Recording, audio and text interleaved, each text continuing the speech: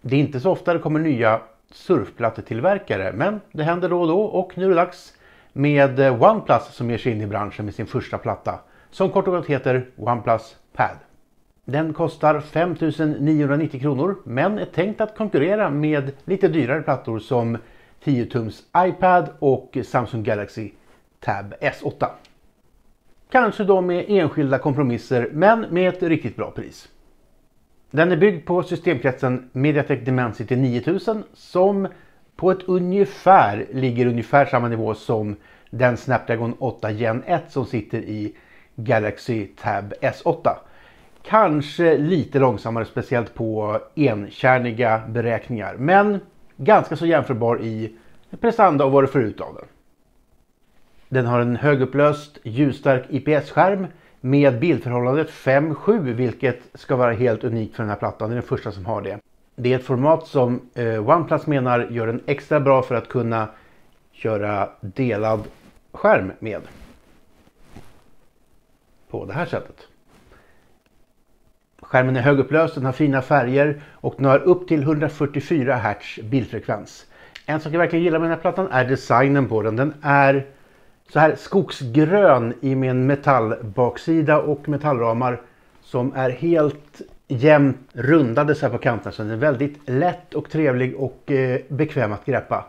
Eh, den är också väldigt tunn. Den är lite över 6,5 mm i bredd.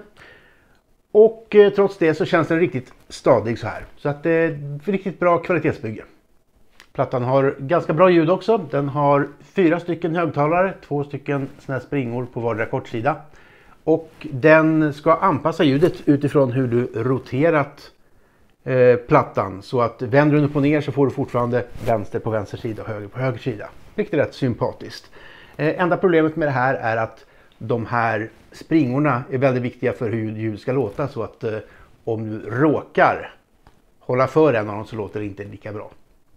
Så bara som surfplatta är den faktiskt riktigt bra. Men eh, kanske vill kunna använda den som mer än det och då finns det intressanta tillbehör. Det finns en eh, pekpenna till den här eh, som jag tyvärr inte fått tillskickad till mig än. Den ska komma så att när jag har använt den på allvar så ska jag uppdatera testet med ett litet omdöme om den också. Men det jag har kunnat testa är den här. En, ett fodral som dessutom när man fäller upp det har en tangentbord. Fullt tangentbord med både knappar och musplatta. Eh, funkar riktigt bra me mekaniskt sett är det trevligt att använda.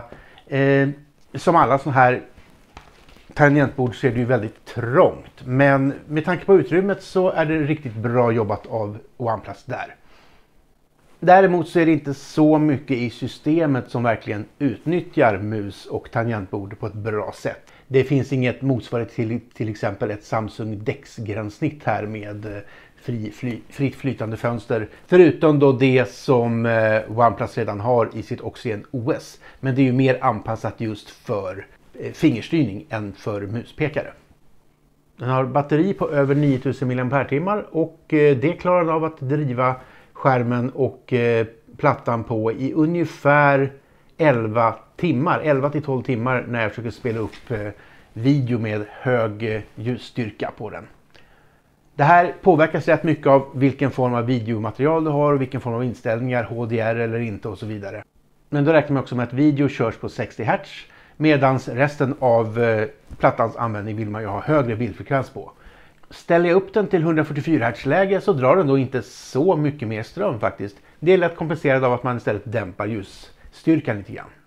Och för det mesta om man använder den inomhus så behöver man inte den höga ljusstyrkan som den faktiskt levererar den här skärmen. Så att eh, det går att spara rätt mycket batteri på det.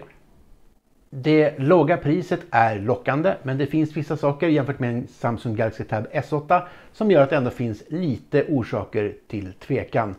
För det första berättar inte OnePlus någonting om eh, tåligheten av den här. Vi vet inte om den är vattentät överhuvudtaget eller om den tål stänk ens. Antar att den tål lite grann men ingenting som är angivet.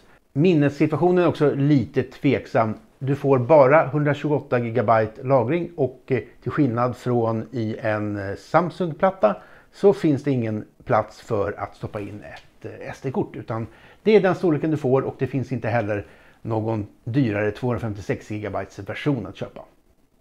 Låter det inte som några stora nackdelar för dig så ja, då är det här en riktigt lovande utmanare till de bästa, ska vi kalla det för näst bästa surfplattorna just nu. Den slår inte en Samsung Galaxy S8 Ultra eller en iPad Pro. Men som ett mer prisvärt alternativ till en Samsung Galaxy Tab S8 eller till och med en eh, iPad av den sorten som bara heter iPad, inte Pro eller Air, så är den riktigt bra.